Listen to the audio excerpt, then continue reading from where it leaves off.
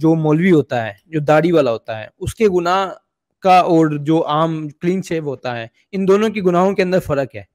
ऐसा ऐसा कुछ सिस्टम है मतलब एक फॉर एग्ज़ाम्पल है गुना तो गुना है, एक अगर मौलवी जो है, वो फॉर एग्ज़ाम्पल सिगरेट पी रहा है, और एक जो बिल्कुल क्लीन शेव है, वो सिगरेट पी रहा है तो जो मौलवी है, उसी की तरफ़ सारे देखेंगे, जो सिगरेट दूसरा भी तो पी रहा है मतलब गुनाह तो गुनाह है तो उसकी तरफ़ कोई नहीं देखेगा। उसको वो वो एक नॉर्मल आदमी है। तो ये क्या गुनाह के अंदर भी कुछ फ़र्क है क्या जो लोग समझते हैं? देखिए, ये तो बिल्कुल बरहक बात है कि जो दीन के साथ जितना ज़्यादा एसोसिएटेड होते हैं, ठीक है, और अगर वो उनकी हल्की सी कोताही भी गुनाह बड़ा होता है। ये अल्लाह ताला ने कुरान में भी अजवाज मतहरात का भी ज़िक्र किया है कि अगर तुमने कोई फाशी वाला काम किया तो तुम्हारे लिए दुगना अजाब है और तुम्हारे लिए दुगनी सजा है। क्योंकि अजवाज का स्टेटस क्या है कि वो उम्महातुल मुमिनीन है। नबी सल्लल्लाहु अलैहि वसल्लम की जो वाइफ्स हैं वो उम्महातुल मुमिनीन है। उनसे कोई ऐसा गलत काम होता है तो अल्लाह ताला ने उनके लिए सजा भी डबल रखी है।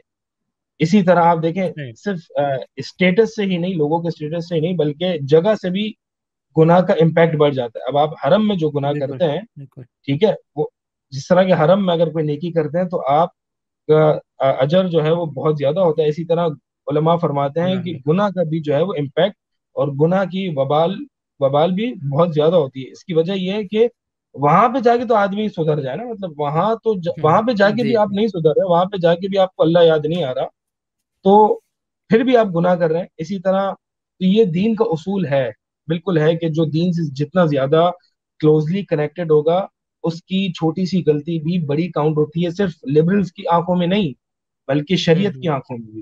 तो एक अगर एक आलिम गलती करता है आलिम अगर इस तरह की हरकत करता है तो एक तो ये कि वो आलिम है ही नहीं फिर हम उसको मानते ही नहीं कि वो आलिम ठीक है हम तो उसको फिर डिसोन कर देते हैं हम हम देखें असल मसला ये आता है कि जब ऐसा कोई मदरसे की तरफ़ से कोई स्कैंडल आता है और एक दुनिया की तरफ़ से स्कैंडल आता है तो होता ये कि टीम ए और टीम बी बन जाती है।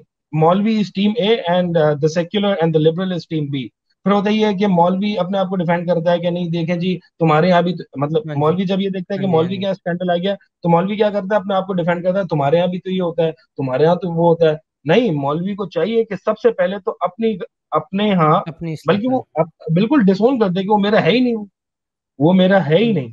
तो सबसे पहले तो डिसओन करे और सबसे पहले उसको सजा देने वाला और सबसे पहले उसकी मजम्मत करने वाला मौलवी हो। तो मौलवी का काम तो ये होता है कि जहाँ भी वो बुराई देखेगा उसको हटाएगा चाहे वो यूनिवर्सिटी में हो चाहे वो मदरसे में हो। हमें टीम ए और टीम नहीं हमने बुराई का खात्मा करना है और तोहहीद को गालिब करना है। ये हमारा मिशन है ये ये एक मौलवी का मोटिव है एक मौलवी का टारगेट है मौलवी का विजन और मिशन सब कुछ यही है कि बुराई का खात्मा करना है चाहे वो मदरसे में हो चाहे वो कहीं भी हो। तो लिबरल्स हम पे क्या एतराज़ करेंगे? हम तो खुद डिसोन कर सबसे लिबरल से पहले हमें डिसोन करना चाहिए।